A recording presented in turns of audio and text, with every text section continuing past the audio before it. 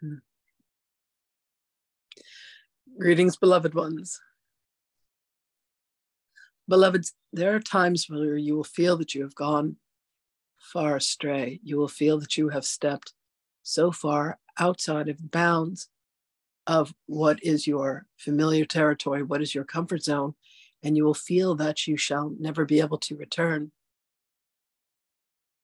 And yet, understand that there is an internal guidance system that will always bring you back to your heart, that will always bring you back to your truth, that will always bring you back to the field of love from whence you have emanated. You will never have gone so far away that you cannot be recovered, that you cannot bring yourself back. Home abides and exists within you, and you have made home certain people in certain places in certain circumstances and certain feelings. But understand, beloved ones, that home is something that you carry within you. It is a place that is meant to be shared with your soul self. the egoic mind will say, home exists where there are four walls and a roof, and there is a spouse, there is a mate, there are children, there are family, there are friends. Beloved, understand that all of these beings live within you, and you have cast them forward through the projection of your own mind onto the tapestry of what you call your very existence. So when you go looking for home somewhere else, you say, I feel like I am lost. I feel that I am lonely. I feel that I am leaving something behind in my many travels. Understand, beloveds, that You are only searching and seeking for yourselves.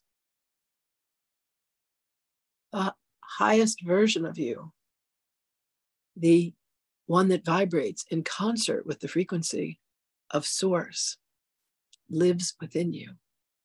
You have been trained and inculcated to be so separate from and separate than that very source of love, that very source of divinity Beloveds, all you need do is walk over and take the plug and plug yourself back into source.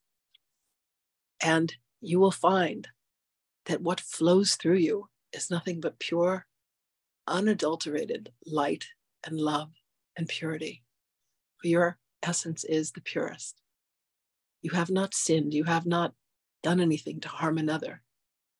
You have agreed to play roles. You have agreed to have certain experiences, beloveds, but you are never more than a single breath away from reconnection to the beauty and the truth that you are.